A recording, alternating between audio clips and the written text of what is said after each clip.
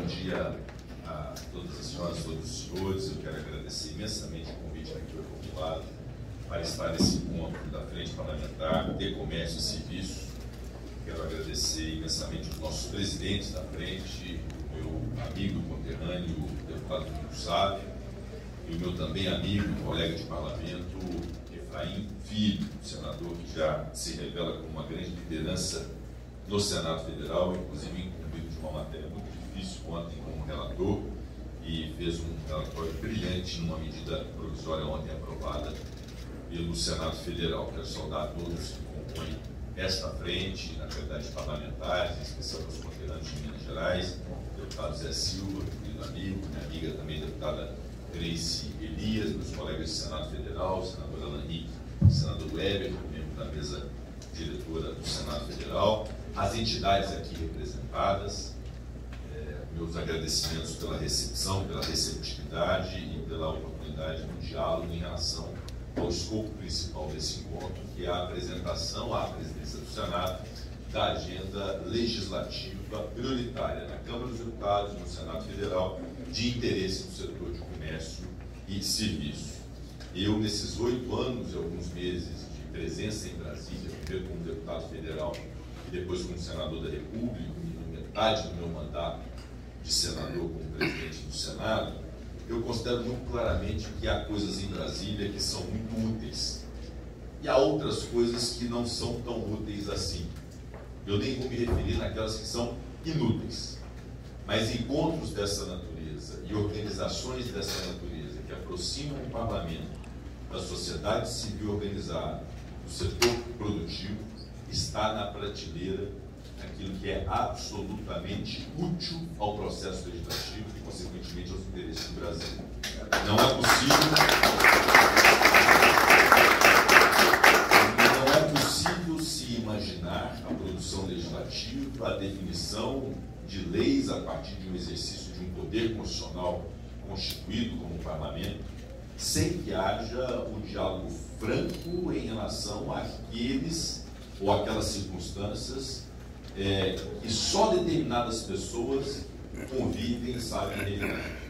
Muito fácil, às vezes, a gente, em Brasília, falar sobre tudo, aqui nós falamos sobre tudo, porque todo o Brasil passa por aqui, as definições de todos os setores, de todas as situações nacionais, e é impossível que nós tenhamos a audácia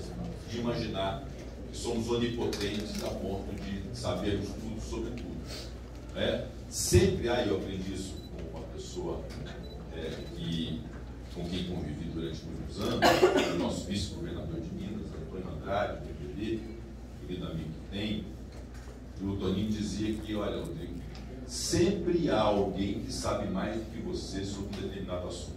E essa é uma realidade. A gente pode saber muito, a gente pode estudar, a gente pode conhecer, ter experiência, mas sempre há alguém que tem um domínio maior sobre determinado assunto, porque se especializou e se aprofundou mais naquilo que você.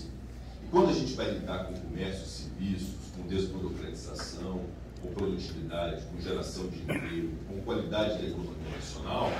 nós não podemos considerar de fato a circunstância que milita muito a favor dessa frente e os interesses que ela representa, que é o fato, dito aqui pelo Domingo e também pelo Efraim, que este setor é um setor, dentro da divisão do setor produtivo nacional, que mais gera produto interno bruto, que mais gera divisas para o Estado brasileiro, que mais gera arrecadação de tributos ao Estado brasileiro e que mais gera emprego. Portanto, a organização desse setor, através das associações, através das federações, e, sobretudo, para o caso do parlamento, na relação com o executivo, de uma frente parlamentar tão qualificada como os membros que estão aqui, é um passo absolutamente fundamental para permitir que o parlamento acerte quando tomar as decisões nas muitas proporções legislativas que o parlamento se incumbe de cuidar. Então eu recebo com um senso de responsabilidade enorme, verdadeiramente com absoluta atenção a todos esses itens elencados nessa agenda legislativa chamada aqui de pauta prioritária de 2023, sobretudo em relação ao Senado Federal. É aquilo, obviamente, cuidar de competência do Congresso Nacional, também na qualidade de presidente do Congresso Nacional, eu cuidarei de estabelecer como prioridade essa pauta que me é apresentada. E quero instalos, especialmente parlamentares, a uma circunstância que nós devemos sempre lembrar, inclusive aos nossos pares aqui que não são da política, que compõem, que participam, como empresários, como dirigentes associativos de classe, comprometimento verdadeiro do Congresso Nacional com as mudanças importantes para o país. Veja o que aconteceu nos últimos anos no Brasil. É, vamos apontar aqui diversas transformações capitaneadas pelo Congresso Nacional, leia-se Câmara dos Deputados e Senado Federal, muitos daqui, inclusive antes de mim, como Domingo, como Efraim, convivendo no parlamento, todos nós responsáveis. Nos últimos oito anos, vejam, eu faço esse recorte de oito anos, porque é o tempo que eu estou na política, é, tudo que foi feito de avanço no Brasil, nós não podemos desconsiderar. Nós aprovamos uma reforma política em 2017 que está gerando resultados agora extremamente positivos para a diminuição de partidos políticos no Brasil.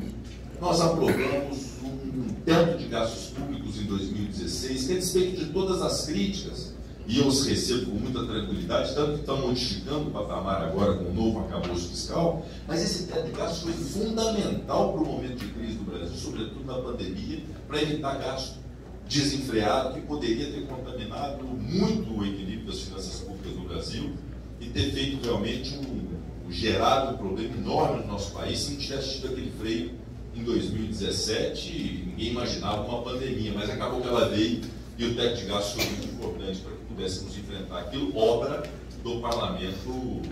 brasileiro, que também agora se incumbirá com toda a responsabilidade de substituir o teto de gastos público, porque agora nós vamos viver uma nova era.